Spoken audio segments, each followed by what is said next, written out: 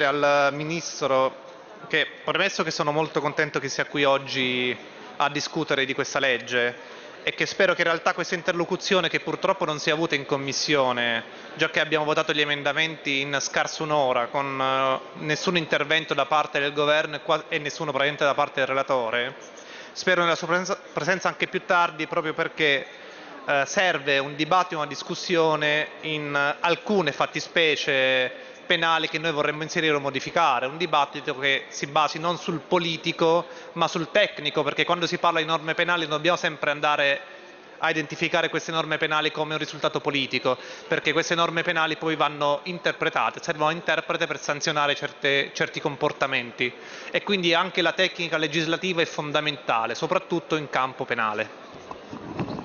Grazie onorevole Colletti, è scritto a parlare il deputato Sanni Candro. Presidente, questo emendamento richiama l'attenzione nostra su una serie di provvedimenti che dovrebbero essere assunti per prevenire la corruzione.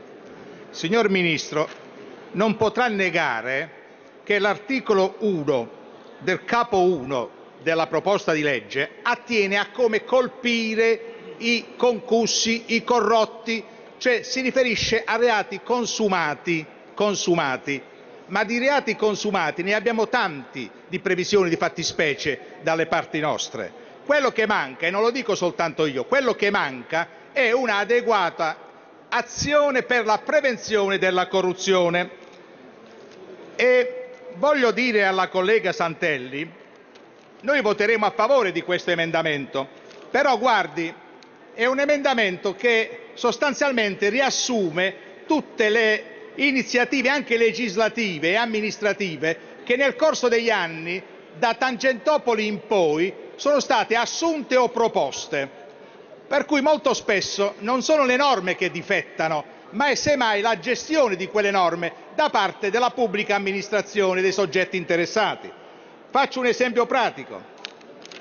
Rileggo soltanto alcuni passaggi del suo emendamento razionalizzazione del quadro normativo nelle materie degli appalti pubblici e delle concessioni, al fine di conseguire un maggior livello di certezza del diritto e di semplificazione dei procedimenti.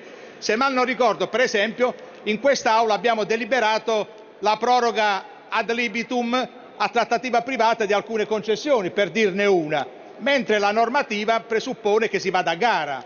No? Ma questa materia degli appalti pubblici è la materia sulla quale il Parlamento fu immediatamente eh, impegnato a fare la famosa legge Merloni e poi la seconda legge, la terza Merloni, la quarta Merloni, con tutti i regolamenti connessi, dove ovviamente non hanno poi sufficientemente funzionato. Bisogna chiedersi perché, oppure, non so, per dirne una, bisogna che il Governo si adoperi per un forte contenimento delle variazioni progettuali in corso d'opera anche attraverso una valorizzazione della fase progettuale negli appalti pubblici ed una più forte responsabilizzazione dei progettisti e dei direttori dei lavori. Questo è già scritto sostanzialmente nella legislazione attuale in materia di lavori pubblici. E allora come mai, come mai bisogna interrogarsi la corruzione dilaga proprio in questo settore?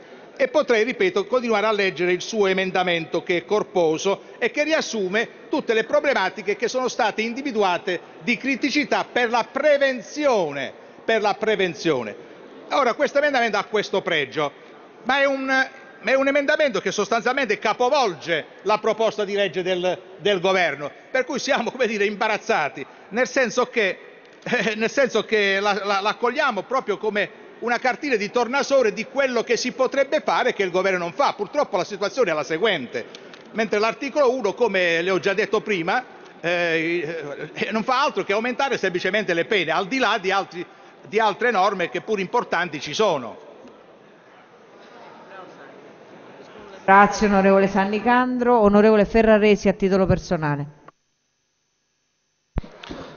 Caro Ministro, approvatevi questa legge anticorruzione entro le elezioni regionali, portate a casa questo ennesimo spot ma non veniteci a raccontare che questa legge sia efficace o sia assolutamente non emendabile, perché noi non ci crediamo. Andatelo a raccontare ai giornalisti, ai vostri elettori che magari ogni tanto vi credono, ma ci faccia il piacere perché mentirebbe in prima battuta a se stesso, perché lei lo sa benissimo che questa legge assolutamente è uno stravolgimento del DDL Grasso che è stato due anni al Senato, che si poteva fare tanto meglio soprattutto sulla prevenzione e tanto meglio anche e soprattutto sulle parole usate, perché vede Ministro, in commissione hanno ridicolizzato le parole usate dal governo su questo testo.